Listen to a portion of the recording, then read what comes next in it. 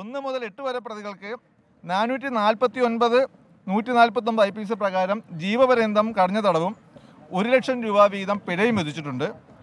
ഒൻപതും പതിനൊന്നും പന്ത്രണ്ടും പ്രതികൾക്ക് നാനൂറ്റി നാൽപ്പത്തി ഏഴ് നൂറ്റി നാൽപ്പത്തൊമ്പത് ഐ പി സി പ്രകാരം അഞ്ഞൂറ് രൂപ വിധിച്ചിട്ടുണ്ട്. ഒന്നും അഞ്ചും ഒമ്പതും പതിനൊന്നും പന്ത്രണ്ടും പ്രതികൾക്ക് നാനൂറ്റി ഇരുപത്തി വകുപ്പ് പ്രകാരം രണ്ട് വർഷം ശിക്ഷ വിധിച്ചിട്ടുണ്ട്. കൂടെ ഒന്ന് മുതൽ എട്ട് വരെ പ്രതികൾക്ക് രണ്ട് ഐ പി സി പ്രകാരം ഏഴ് വർഷം ശിക്ഷ വിധിച്ചിട്ടുണ്ട്. ഒൻപതും പതിനൊന്നും പതിനഞ്ചും പ്രതികൾക്ക് ഇരുന്നൂറ്റി ഒന്ന് നൂറ്റി നാൽപ്പത്തൊമ്പത് ഐ പി സി പ്രകാരം ഏഴ് വർഷം തടവ് ശിക്ഷയും ഒരു ലക്ഷം രൂപ പിഴയും വിധിച്ചിട്ടുണ്ട്. ഒന്ന് മുതൽ ഒൻപത് വരെയും പതിനൊന്നും പന്ത്രണ്ടും പ്രതികൾക്ക് ട്വന്റി സെവൻ ആംസ് ആക്ട് പ്രകാരം ഏഴ് വർഷം തടവ് ശിക്ഷ വിധിച്ചിട്ടുണ്ട്. ഒന്ന് മുതൽ എട്ട് വരെ പ്രതികൾക്ക് ഒന്ന് മുതൽ എട്ട് ഒമ്പത് പതിനൊന്ന് പന്ത്രണ്ട് പ്രതികൾക്ക് മുന്നൂറ്റി രണ്ട് റീഡ് വിത്ത് നൂറ്റി നാൽപ്പത്തൊമ്പത് വകുപ്പ് പ്രകാരം മരണം വരെ തൂക്കിലേറ്റാനും ഒരു ലക്ഷം രൂപ പിഴയും. പതിമൂന്ന് മുതൽ പതിനഞ്ച് വരെ പ്രതികൾക്ക് മുന്നൂറ്റി രണ്ട് റീഡ് വിത്ത് നൂറ്റി നാൽപ്പത്തൊമ്പത് നൂറ്റി ഇരുപത് ബി ക്രിമിനൽ കോൺസ്പിറസി വകുപ്പ് പ്രകാരം മരണം വരെ തൂക്കിലേറ്റാൻ വിധിയും ഒരു ലക്ഷം രൂപ പിഴയും വിധിച്ചിട്ടുണ്ട്. എട്ടാം പ്രതിക്ക് മുന്നൂറ്റി ഇരുപത്തിനാല് നൂറ്റി നാൽപ്പത്തൊമ്പത് വകുപ്പ് പ്രകാരം മൂന്ന് വർഷം തടവ് ശിക്ഷയും അയ്യായിരം രൂപ ഫൈനും വിധിച്ചിട്ടുണ്ട്. രണ്ടും ഏഴും എട്ടും പ്രതികൾക്ക് മുന്നൂറ്റി ഇരുപത്തി മൂന്ന് വകുപ്പ് പ്രകാരം ഒരു വർഷം തടവ് ശിക്ഷയും ആയിരം രൂപ പിഴയും വിധിച്ചിട്ടുണ്ട്. ഒന്ന് മുതൽ എട്ട് വരെ പ്രതികൾക്ക് മുന്നൂറ്റി നാൽപ്പത്തി ഒന്ന് വകുപ്പ് പ്രകാരം ഒരു മാസം തടവ് ശിക്ഷയും വിധിച്ചിട്ടുണ്ട്. ഇതിൽ ആറ് ലക്ഷം രൂപ വരുന്ന പിഴ തുക ഈടാക്കുമ്പോൾ അതിൽ ആറ് ലക്ഷം രൂപ ഈ കേസിലെ ഒന്നും രണ്ടും എട്ടും സാക്ഷികളായ രഞ്ജിത്ത് മരണപ്പെട്ട രഞ്ജിത് ശ്രീനിവാസന്റെ അമ്മയ്ക്കും ഭാര്യയ്ക്കും ഇളയ കുട്ടിക്കും അതേപോലെ തന്നെ ഈ കേസിൽ സാക്ഷിയാകാത്ത മൂത്ത കുട്ടിക്ക് കൂടി നൽകണമെന്ന് കോടതി വിധിച്ചിട്ടുണ്ട്. വിധികളെല്ലാം ഒരുമിച്ച് അനുഭവിച്ചാൽ മതി എന്നുള്ള തരത്തിലും കോടതി ഒരു കാര്യം അതായത് ഈ കേസിൽ പതിനഞ്ച് പ്രതികൾക്കും ശിക്ഷ നൽകി കഴിഞ്ഞിരിക്കുന്നു. ജഡ്ജിയുടെ കണ്ടെത്തൽ എന്താണെന്നുള്ളത് വിധി അറിയുള്ളൂ. താങ്കളുടെ അസസ്മെന്റ് പ്രകാരം എന്തുകൊണ്ടായിരിക്കാം ഈ പതിനഞ്ച് പ്രതികൾക്കും വധശിക്ഷ നൽകാൻ കോടതി തീരുമാനിച്ചത് ഈ കേസിലെ പ്രതികൾ എല്ലാവരും popular front of India S D P I നിരോധിത ഇപ്പോൾ നിരോധിക്കപ്പെട്ടിട്ടുള്ള പോപ്പുലർ ഫ്രണ്ട് ഓഫ് ഇന്ത്യ എന്ന് പറയുന്ന സംഘടനയിലെ പ്രവർത്തകരാണ് എന്നുള്ള പ്രോസിക്യൂഷന്റെ ആരോപണം കോടതി ശരിവച്ചിട്ടുണ്ട്. അത് മാത്രവുമല്ല അപൂർവങ്ങളിൽ അപൂർവമായ രീതിയിൽ മുന്നൊരുക്കത്തോടു കൂടി വളരെ നേരത്തെ ലിസ്റ്റ് തയ്യാറാക്കി ഒരു ട്രെയിൻഡ് ആയിട്ടുള്ള ഗ്രൂപ്പ് എന്നുള്ള രീതിയിൽ തന്നെ വീട്ടിൽ അതിരാവിലെ കയറി അതിക്രമിച്ച് കടന്നു കയറി നിരാലംബരായ സ്ത്രീകളുടെയും കൊച്ചു കുഞ്ഞിന്റെയും മുമ്പിൽ വെച്ച് അതിക്രൂരമായ രീതിയിൽ നടത്തിയ കൊലപാതകമാണ്. അതുകൊണ്ട് തന്നെ വധശിക്ഷ അവർക്ക് നൽകണമെന്നുള്ള പ്രോസിക്യൂഷന്റെ വാദവും കോടതി സ്വീകരിച്ചിട്ടുണ്ട്. ഉള്ളതായിട്ടാണ് മനസ്സിലാക്കാൻ സാധിച്ചിട്ടുള്ളത്. റയറസ്റ്റ് ഓഫ് റയർ കേസിന്റെ റയറസ്റ്റ് ഓഫ് റയർ കേസിന്റെ പരിധിക്കകത്ത് വരുന്ന തരത്തിൽ തന്നെയാണ് കോടതി ഈ കേസിനെ കണ്ടെത്തിയിട്ടുള്ളത്. അതുകൊണ്ട് തന്നെയാണ് വധശിക്ഷ വിധിച്ചിട്ടുള്ളത്. പ്രോസിക്യൂഷന് ഭീഷണി ഉണ്ടോ എന്ന് ചോദിച്ചു കഴിഞ്ഞാൽ അത് നമുക്ക് പിന്നീട് സംസാരിക്കാം.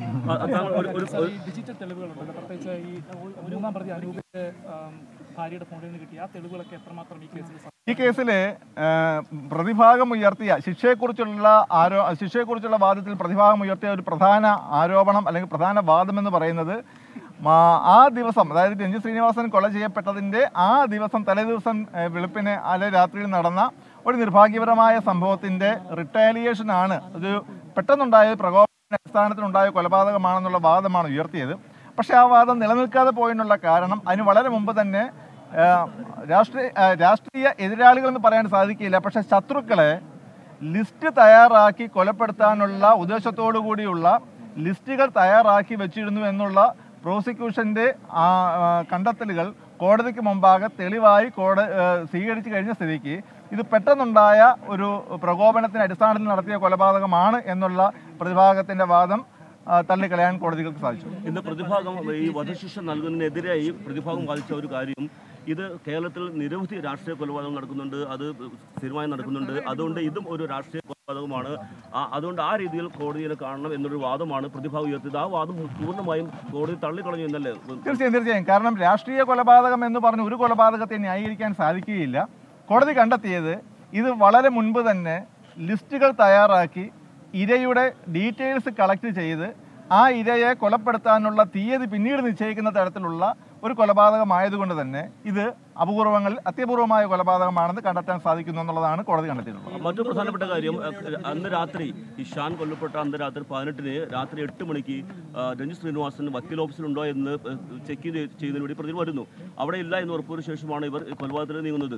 ആ സമയം മുതൽ പിറ്റേന്ന് രാവിലെ ആറര വരെയുള്ള പ്രതികളുടെ എല്ലാ നീക്കങ്ങളും ഒരു കണ്ണി പോലെ ഒരു ചങ്ങല പോലെ കൂട്ടിയോജിപ്പിക്കാൻ പ്രോസിക്യൂഷൻ കഴിഞ്ഞു എന്നുള്ള പ്രത്യേകിച്ച് ശാസ്ത്ര തെളിവുകളും അതുപോലെ ഇതിനകത്തൊരു പ്രധാന കാര്യം ഒരു ഓർഗനൈസേഷൻ ഒരു ഒരു സംഘടന കൊലപാതകികൾക്ക് പിന്നിലുണ്ട് എന്ന് വരുമ്പോൾ സ്വാഭാവികമായും അവർ നടത്തുന്ന ഗൂഢാലോചന അടക്കമുള്ള കാര്യങ്ങൾക്ക് പ്രത്യക്ഷത്തിലുള്ള തെളിവുകൾ കൊണ്ടുവരാൻ സാധാരണഗതിയിൽ അന്വേഷണ ഉദ്യോഗസ്ഥന്മാർക്ക് സാധിക്കാത്ത സാഹചര്യമാണ്. പക്ഷേ ഈ കേസിലെ അന്വേഷണ ഉദ്യോഗസ്ഥൻ ഉൾപ്പെടുന്ന അന്വേഷണ ടീം വളരെ മനോഹരമായ രീതിയിൽ തന്നെ കേരള പോലീസ് വളരെ മനോഹരമായി തന്നെ ഈ കേസിനകത്ത് തെളിവുകൾ ശേഖരിച്ചതിന്റെ അടിസ്ഥാനത്തിലാണ് ഈ ഒരു ചെയിൻ ഓഫ് ഇൻസിഡൻസ് അതായത് ഏഹ്, തലേ ദിവസം രാത്രി നടന്ന ഒരു ഒരു നിർഭാഗ്യകരമായ സംഭവത്തിന് തുടർച്ചയായിട്ടുള്ള ആ ചെയിൻ ഓഫ് ഇൻസിഡൻസ് മൊത്തമായി കോടതി കൊണ്ടുവരാനും ആ കൊലപാതകത്തിനുള്ള ഗൂഢാലോചനയ്ക്ക് ഒരു പഴുതുമില്ലാത്ത തരത്തിൽ കോടതിയെ തെളിയിക്കാനും പ്രോസിക്യൂഷൻ സാധിച്ചിട്ടുണ്ട്.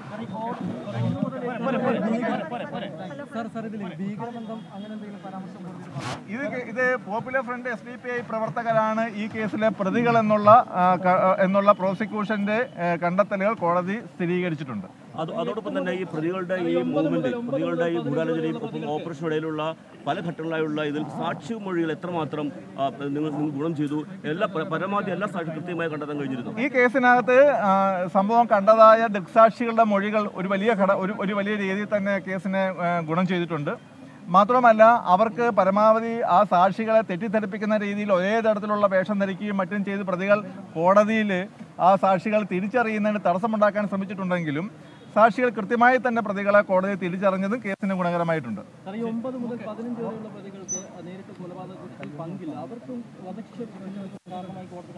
അതായത് ഒരു പ്രത്യേക ഒരു കൃത്യമായ ഉദ്ദേശത്തോടു കൂടി ഒന്നിൽ കൂടുതൽ ആളുകൾ സംഘം ചേർന്ന് നടത്തുന്ന ഒരു കൊലപാതക കുറ്റത്തിൽ സംഭവ സ്ഥലത്ത് ഇല്ലാത്ത പ്രതികൾക്കും നൂറ്റി നാൽപ്പത്തി ഒൻപതാം വകുപ്പിന്റെ പരിധിക്കകത്ത് ആ സംഭവ സ്ഥലത്തുള്ള പ്രതികൾ ചെയ്ത അതേ കൊലപാതകത്തെ അല്ലെ- അല്ലെങ്കിൽ ആ കുറ്റകൃത്യത്തിന്റെ അതേ ബാധ്യത അവർക്ക് നിലനിൽക്കുന്നുണ്ട്. ഒരു സംശയം കൂടി ഈ പത്താം പ്രതി ഇന്ന് ഹാജരാക്കിയില്ല. അദ്ദേഹത്തിന് വേണ്ടി ആ ആ പ്രതിക്ക് വേണ്ടി ഒരു പ്രത്യേക വിധി ഉണ്ടാകുമോ? അതോ ഈ വിധി അദ്ദേഹത്തിനോട് ഈ പ- ആ പ്രതികൾക്ക് ആ കോടതിയിൽ ഇന്ന് ഹാജരാക്കാത്ത പത്താം പ്രതിക്കെതിരായും ഇതേ വകുപ്പുകൾ തന്നെ കോടതി കണ്ടെത്തി കഴിഞ്ഞ സ്ഥിതിക്ക് മറ്റൊരു വിധി ഉണ്ടാകാൻ സാധ്യതയില്ല. അവർക്കും ഇതേ ശിക്ഷ തന്നെയാണ് ലഭിക്കേണ്ടത്. Special public prosecutor Pratap G പടിക്കലാണ് കോടതി വിധിയുമായി ബന്ധപ്പെട്ട വിശദാംശങ്ങൾ ഇപ്പോൾ മാധ്യമങ്ങളുമായി പങ്കുവച്ചത്. രഞ്ജി ശ്രീനിവാസൻ വധക്കേസിൽ പതിനഞ്ച് പ്രതികൾക്കും വധശിക്ഷ വിധിച്ചിരിക്കുകയാണ്. മാവേലിക്കര അഡീഷണൽ സെഷൻസ് കോടതി ഇത്രയധികം പ്രതികൾ കൊറ്റയടിക്ക് വധശിക്ഷ വിധിക്കുന്നത് അത്യപൂർവമാണ്. കേരളത്തിന്റെ നിയമചരിത്രത്തിൽ തന്നെ അതുകൊണ്ട് തന്നെ വേറിട്ട ഒരു വിധി പ്രഖ്യാപനം എന്ന പ്രാധാന്യം നേടുകയാണ് ജഡ്ജി വി ജി ശ്രീദേവിയുടെ രഞ്ജി ശ്രീനിവാസൻ വധക്കേസിലെ ഈ ശിക്ഷാവിധി പ്രഖ്യാപനം.